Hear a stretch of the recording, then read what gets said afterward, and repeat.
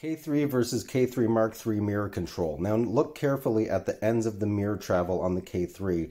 It's not nearly as precise as you would think the mirror control actually is.